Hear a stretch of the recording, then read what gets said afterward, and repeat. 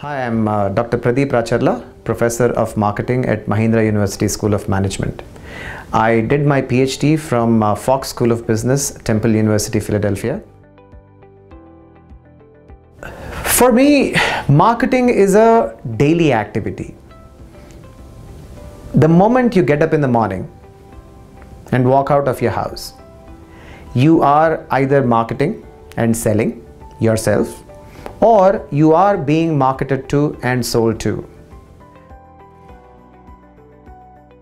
What I want to talk about today is how technological devices are helping companies understand customer behavior and customer emotions. Okay. Uh, have you heard of eye tracking? Do you know what it is? Do you know what they do in eye tracking? Sir, this would be very useful on an online education platform where they actually, not? where you can understand which person is cheating or which person is not cheating. Yeah, uh, they put you, they put uh, sign, you know, special types of glasses on your eye, and then the glasses essentially start reading every single gaze that you are doing. For example, if I want to understand, let's say, how you as customers are uh, perceiving an e-commerce site. So what I'll do is I'll bring you to a lab. I'll open the e-commerce site and I'll say, hey, you know what? Start browsing the e-commerce site. But then, you know, put these glasses on. Now, the moment you put these glasses on, every single place where you see on the you know e-commerce site, I know which products you're looking at. I know where your emotions are because an eye tracking device can give me heat maps. What are called as heat maps.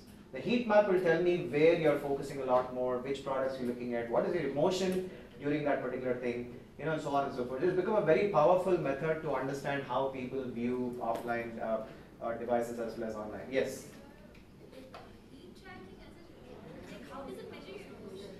That's what I'm saying. So it tracks your eye movements, and then, for example, let's say this is the whole screen of the e-commerce uh, website, and if you're looking a lot more on the right-hand corner, then the more you look, the more obviously it is saying that you know it is giving you a heat map. So on one side it will be low red, it will be high red, there will be yellow. So yellow means you know not very intense. Blue means maybe reasonably intense. Red means wow, you're not just you're just looking at that all the time right? So these are all the ways in which, uh, you know, by the way, Dr. Amog and I are planning to start an eye tracking lab at Mahindra. So would you want to become subjects? Yes. But free subjects, you're not paying anything. Okay. Programs much better, social programs. Okay. So they went door to door. They actually did a survey and collected every single piece of information about the people living in that each household, including who are the people, what is their background, how many people live there, where do they come from, where do they go, you know, practically everything. Okay? And people actually believe that. People thought that the survey is really being done so that, you know, the social programs can be done better. And when the time came when Hitler actually started pulling the trigger on Jews, he actually knew everything about where these people are. That's why, you know, they're called Jew hunters. They would know that, for example, they'll come to this house and, you know, the, the family would hide two kids and say, oh, we are only two people. They actually know because in the survey there is a full data on that you know there are two kids. So they'll make sure they'll search and then finally get that data. Right? Data can be misused. So don't think that from a marketing perspective it is awesome to collect as much data as possible from a marketing research perspective. Because one trust me you'll not you'll not use barely or you will use barely 10 20% of that but more importantly if you're not considering the privacy risks of all of this it's always a dangerous scenario in the future so with that in mind I hope you got a broader sense of market research because once you decide on the method, once you decide on the research objectives, then you actually do the survey, put the data together. But that's something that you guys will do as part of your exercise. So you'll get a sense of that.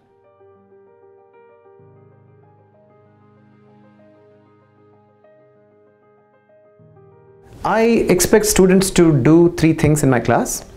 One is uh, be participative because marketing is more of a conversation than uh, theory.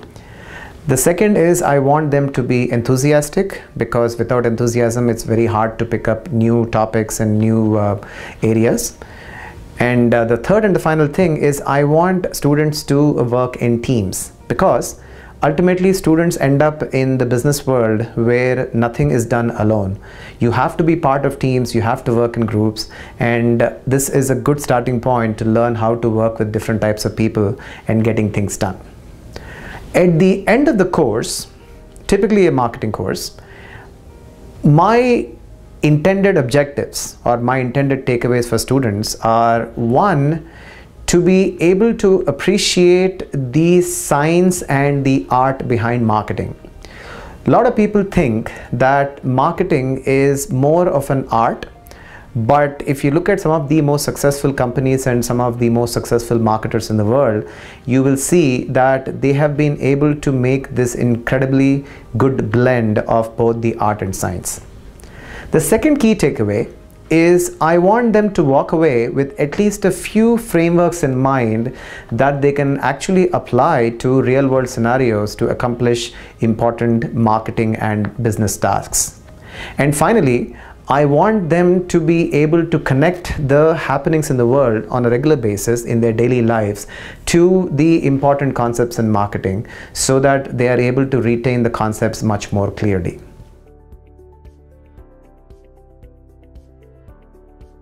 Well, the reality is God made man, man made marketing, and marketing is now making people mad. That's the reality.